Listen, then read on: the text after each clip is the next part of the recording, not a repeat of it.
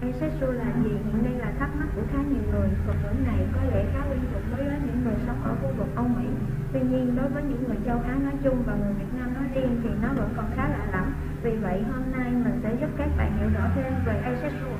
Bây giờ chúng ta sẽ tìm hiểu về các nội dung asexual là gì, phân biệt các dạng asexual, dấu hiệu nhận biết người vô tính, người vô tính có quan hệ tình dục như thế nào, asexual có phải là bệnh không và cuối cùng là những hiểu lầm về người vô tính. Asexual chỉ những người không trải nghiệm sự hấp dẫn tình dục với người khác bất kể họ thuộc giới tính nào. Người vô tính được gọi với thuật ngữ tiếng Anh là asexual. Đây là một xu hướng tình dục rất đặc biệt. Asexual là một phần của cộng đồng LGBT bao gồm gay, lesbian, bisexual và transgender. Mặc dù chỉ chiếm một phần trăm dân số nhưng chúng ta không thể không công nhận sự tồn tại của cộng đồng giới tính này. Tuy nhiên, đa số họ không được xem như người bình thường trong mắt xã hội. Phần 2. Phân loại Người vô tính vẫn có thể bị hấp dẫn về mặt tình cảm đa dạng như những người khác Dị tính vô tính bị thu hút bởi người khác giới Đồng tính vô tính bị thu hút bởi những người cùng giới. Song tính vô tính bị thu hút bởi cả nam và nữ. Toàn tính vô tính bị thu hút bởi mặt tình cảm bởi một người bất kỳ. Không quan trọng giới tính của người đó. Demiromantic có thể là dị tính, đồng tính, song tính, toàn tính. Nhưng chỉ bắt đầu bị thu hút bởi một người khi đã gắn bó mật thiết. Vô tính vô tính không bị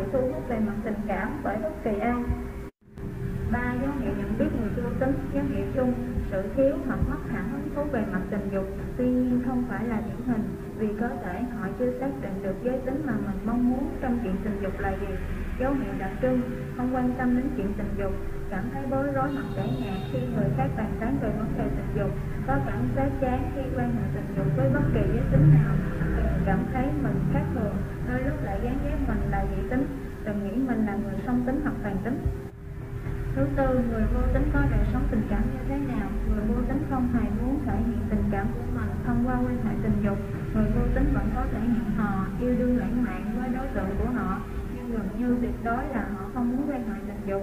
Không phải người vô tính là người mất bản năng tình dục, họ vẫn có thể quan hệ tình dục và đạt đến sự cực khoái. Họ sẽ quan hệ tình dục vì những lý do nhất định như tò mò, muốn khám phá bản thân và người mình thương yêu, muốn quan hệ tình dục để có con, giúp cho người mình thương yêu được thỏa mãn. Nhiều người vô tính còn có thể thủ dâm với mục đích thư giãn, giảm stress, giảm căng thẳng. Thứ năm, asexual có phải là bệnh không? Theo các nhà khoa học, vô tính là bẩm sinh và không thể thay đổi. Nó khác với việc thích sống độc thân hoặc hội chứng rối loạn tình dục. Người vô tính không phải thực vật, không có cảm giác. Asexual không phải là bệnh tâm thần.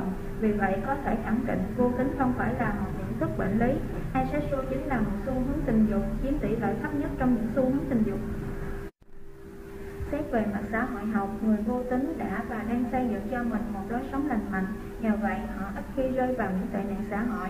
Họ cũng cần cho mình một cộng đồng để sinh hoạt cùng nhau như diễn đàn. Mục đích là để giúp họ thoát khỏi sự cô lập. Thứ sáu, những hiểu lầm về người vô tính, phân biệt với suy giảm ham muốn tình dục. Đầu tiên, chúng ta cần phân biệt giữa suy giảm ham muốn tình dục với vô tính. Vô tính như đã nói ở trên là bẩm sinh, nghĩa là từ khi sinh ra cho đến lúc già và mất đi, họ không hề có hứng thú với chuyện quan hệ tình dục, trong khi giảm ham muốn tình dục chỉ là nhất thời. Người bị suy giảm ham muốn tình dục trước đó vẫn có hứng thú với tình dục bình thường, tuy nhiên vì những lý do nhất định như stress, căng thẳng, áp lực trong công việc, tuổi càng cao, hormone sinh dục càng giảm, do tác dụng phụ của một số thuốc, chẳng hạn như thuốc chống trầm cảm, thuốc tránh thai, thuốc ức chế hormone androgen, bị tổn thương não. Qua đó chúng ta biết được thêm một cộng đồng người đang chiếm tỷ lệ rất thấp trong xã hội là asexual. Đồng thời mỗi người chúng ta nên đồng cảm, chia sẻ và đối xử với họ như người bình thường, không nên kỳ thị và phân biệt đối xử với những người asexual. Đừng bao giờ sợ hãi, thể hiện màu sắc của riêng mình.